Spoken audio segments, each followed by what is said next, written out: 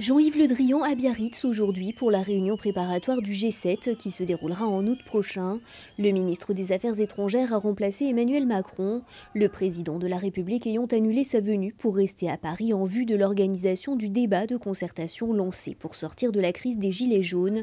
Une annulation qui n'a pas découragé les Gilets jaunes qui ont défilé dans les rues du centre-ville. Ils ont été rejoints par la CGT et le LAB qui ont manifesté contre la politique menée par le président de la République mais aussi contre la tenue du G7 à Biarritz. Le ton est monté en fin de matinée et les manifestants ont été dispersés par les forces de l'ordre. Le campement des Gilets jaunes de Samazon détruit ce matin vers 9h. Les gendarmes sont intervenus sur ce rond-point situé en contrebas de la sortie d'autoroute en direction de Casteljaloux que les Gilets jaunes occupaient depuis un mois. Certains Gilets jaunes envisageaient déjà ce matin de revenir sur ce rond-point. Les retraités sont descendus dans la rue aujourd'hui à l'appel de neuf organisations syndicales et associations de retraités. Ils étaient plus de 800 à Pau à manifester pour une revalorisation de leur pension, mais aussi pour la suppression de la hausse de la CSG. Parmi les autres revendications, le maintien des pensions de reversion, le recrutement de personnel qualifié dans les EHPAD, mais aussi la prise en charge de la perte d'autonomie à 100% par la sécurité sociale.